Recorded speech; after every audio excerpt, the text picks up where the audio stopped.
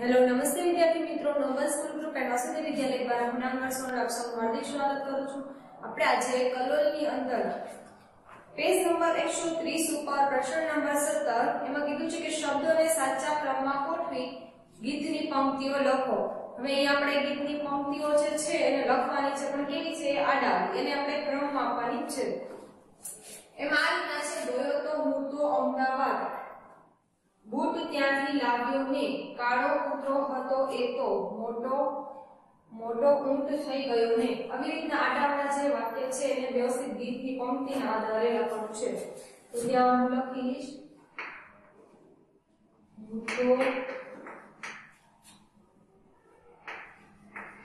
ગયો તો.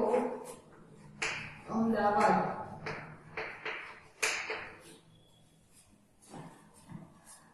ને ત્યાંથી લાવ્યો બૂટ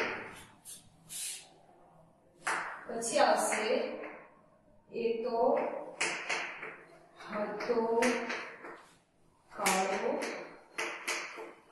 કૂતરો ને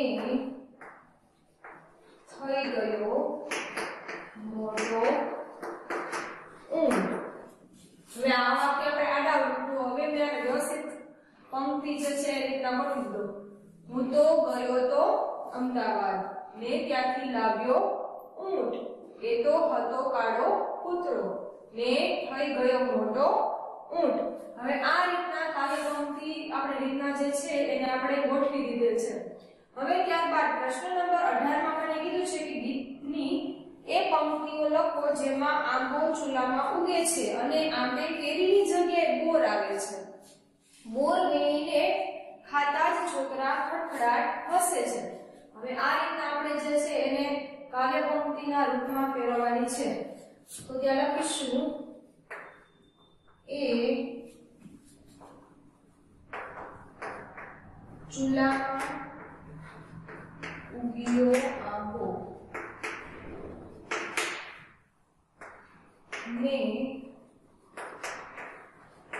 આંબે આવ્યા બોર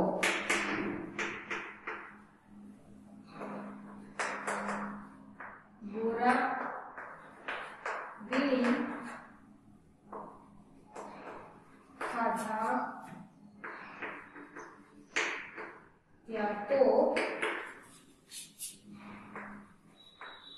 ખડખડાટ ખડખડ હસ્યા છોરા હવે આપણે એને કાવ્ય પંક્તિના રૂપમાં રૂપાંતર કરી છે. એ તો ચૂલામાં ઉગ્યો આંબો, ને આંબે આવ્યા બોર. બોરા બીની ખાધા ત્યાં તો ખડખડ હસ્યા છોરા હવે આ રીતના આપણે અહીંયા કાવ્ય પંક્તિના રૂપમાં ફેરવવાની છે. તો ત્યાં પહેલા મેં જે તમને વ્યવસ્થિત એક નાનકડી એવી કાવ્ય પંક્તિ બનાવી દીધી છે. વાક્ય જે આડા હતા, એને ગોઠવી અને આપણે કાવ્ય પંક્તિમાં ફેરવે છે. ત્યારબાદ આપણને અહીંયા જે વાક્ય છે, એના આધારે આપણે કાવ્ય પંક્તિના રૂપમાં ફેરવવાનું હતી. એ પણ આપણે કરી દીધું છે. તો આ તમારે તમારી સ્વાધ્યાય બુક જે છે, એની અંદર વ્યવસ્થિતપણે સારા અક્ષરે લખવાનું છે. અને આના પછીના નેક્સ્ટ વિડીયોમાં આપણે સાચો હોય તો અને ગપ્પુ હોય તો કરો.